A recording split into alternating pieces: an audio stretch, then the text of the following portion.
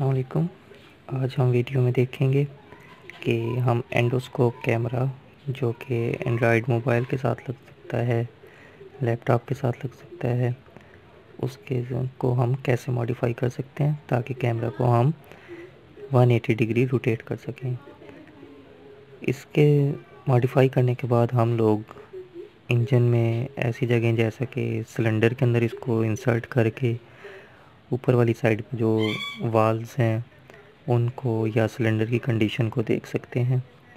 جیسا کہ آپ دیکھتے ہیں کہ میں اس کو جو میں نے ماڈیفائی کی ہوئی ہے، اس کا یہ تھریڈ لگایا ہوا ہے۔ اگر اس تھریڈ کو میں کھینچتا ہوں تو یہ دیکھیں، اس کو ہم کیمرے کو fully one eighty degree rotate کر سکتے ہیں۔ دیکھیں۔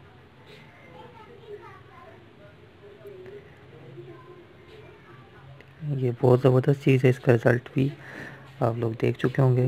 اور یہ اسپارک پلگ والے سوراخ سے ہیڈ میں داخل ہو سکتی ہے۔ اس کے علاوہ پیٹرول ٹینک یا کسی بھی ایسی جگہ جہاں پہ ہم فزیکلی جا کے نہیں دیکھ سکتے، وہاں پہ اس کو انسرٹ کر سکتے ہیں ہم لوگ۔ تو اس کو بنانے کا طریقہ بہت آسان ہے۔ یہ میں نے ایک کاپر کی تار لی تھی۔ دیکھیں، یہ فلیکسیبل ہے۔ اس کو ایڈجسٹ کر سکتے ہیں اپنے حساب سے۔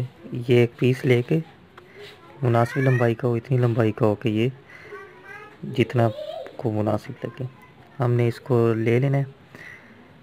یہ چیز۔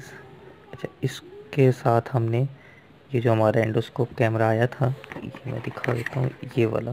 ٹھیک ہے۔ پہلے یہ دیکھیں، یہ اس کنڈیشن میں تھا۔ تو اس کو ہم نے اس تار کے ساتھ رکھ لینا ہے، ایسے، اور تھوڑا سا فاصلہ چھوڑ دینا ہے تاکہ یہ موو ہو سکے، ایسے۔ ٹھیک ہے؟ اور یہ ایک سپرنگ تھا، اس کے ساتھ ہی آیا تھا۔ اس کی جو اسیسریز ہیں، اس میں یہ سپرنگ تھا۔ یہ آپ دیکھ سکتے ہیں۔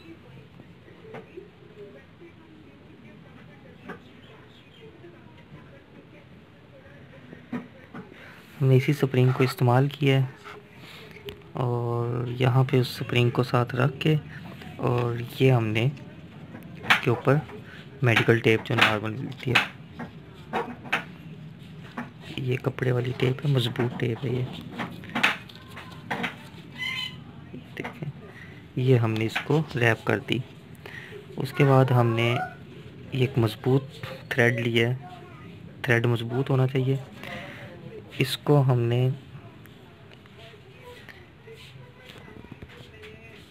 اس کے یہاں ٹاپ پہ رکھ کے ایسے، اور اس پہ بھی ہم نے یہ جو تھی میڈیکل ٹیپ، یہ ہم نے اس کو سیکیور کر دیا اس سے۔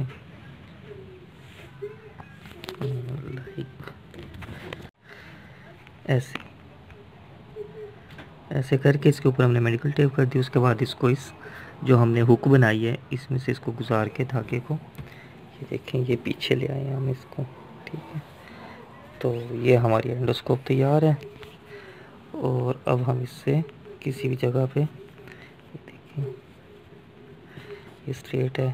ہم ایسے اس کو ہاتھ سے پکڑ کے بھی موو کروا سکتے ہیں۔